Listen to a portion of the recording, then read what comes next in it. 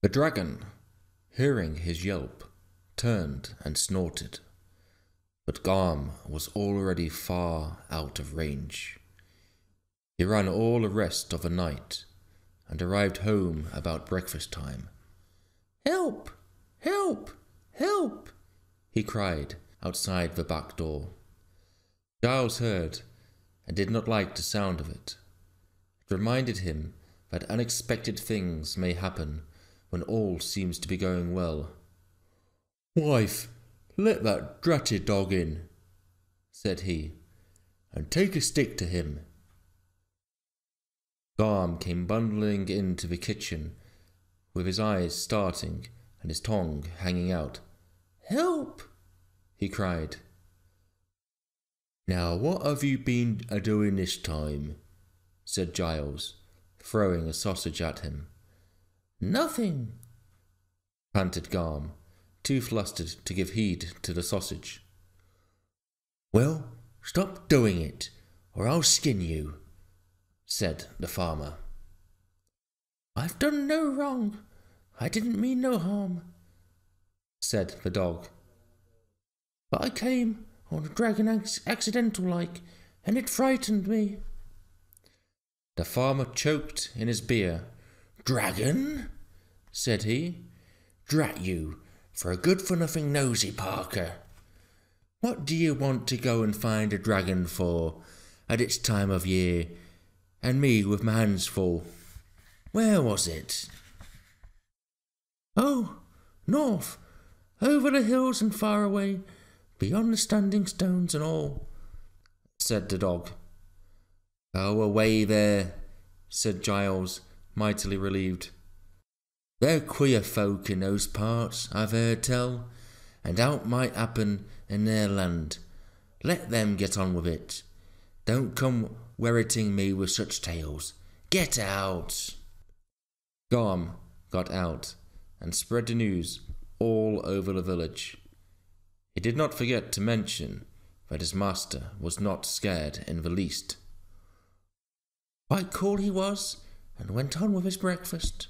People chatted about it pleasantly at their doors. How like old times, they said.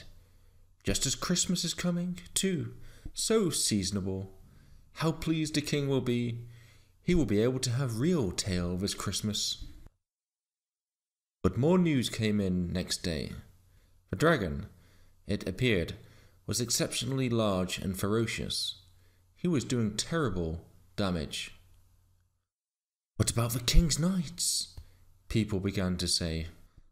Others had already asked the same question. Indeed, messengers were now reaching the king from the villages most afflicted by Chrysophylax, and they said to him as loudly and as often as they dared, Lord, what of your knights? But the knights did nothing. Their knowledge of the dragon was still quite unofficial. So the king brought the matter to their notice, fully and formally asking for necessary action at their early convenience. He was greatly displeased when he found that their convenience would not be early at all, and was indeed daily postponed. Yet the excuses of the knights was undoubtedly sound. First of all, the royal cook had already made the dragon's tail for that Christmas, being a man who believed in getting things done in good time. It would not do at all to offend him by bringing in a real tail at the last minute. He was a very valuable servant. Never mind the tail. Cut his head off and put an end to him, cried the messengers from the villages most nearly affected. But Christmas had arrived, and most unfortunately, a grand tournament had been arranged for St. John's Day. Knights of many realms had been invited and were coming to compete for a valuable prize. It was obviously unreasonable to spoil the chances of the Midland Knights by sending their best men off on a dragon hunt before the tournament was over. After that came the New Year holiday. But each night the dragon had moved, and each move had brought him closer to Ham.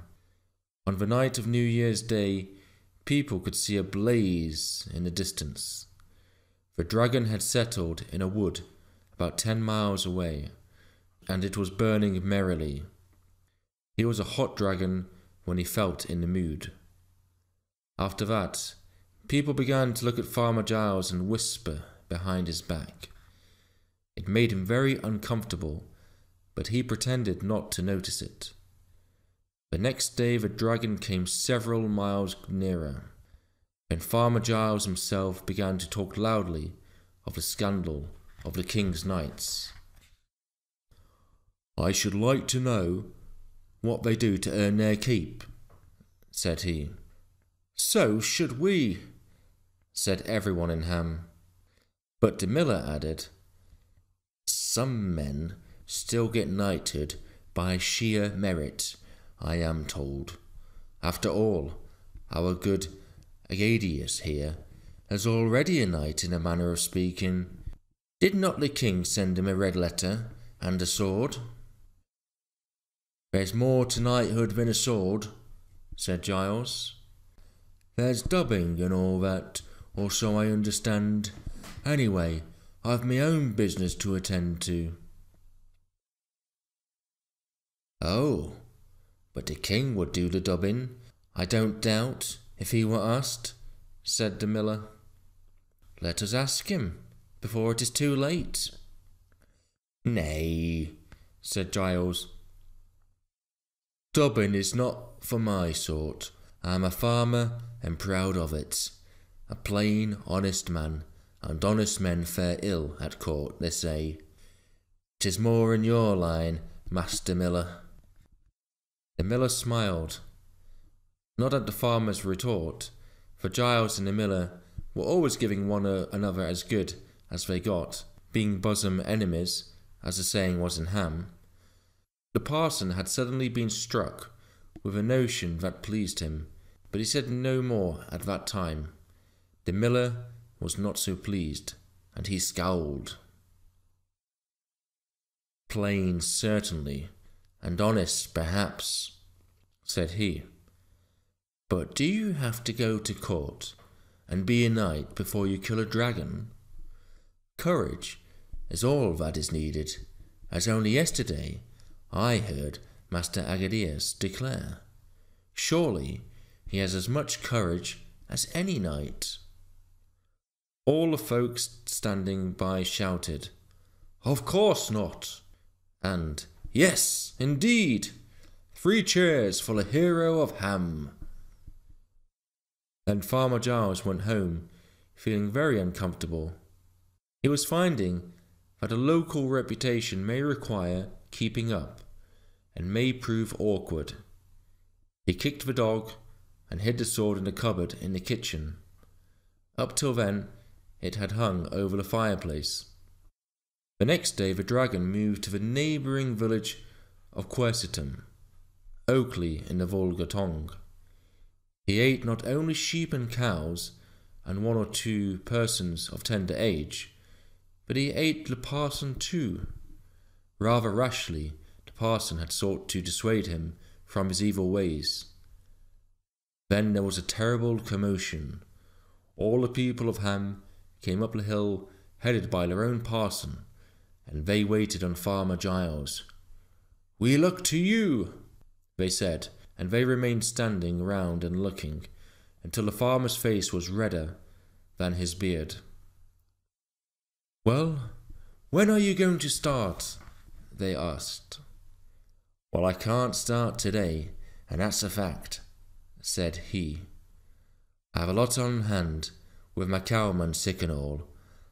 I'll see about it. They went away, but in the evening it was rumoured that the dragon had moved even nearer, so they all came back. We look to you, Master Aegidius, said they. Well, said he, it's very awkward for me right now. My mare has gone lame, and the lambing has started. I'll see about it as soon as may be. So they went away once more, not without some grumbling and whispering. The miller was sniggering. The parson stayed behind and could not be rid of.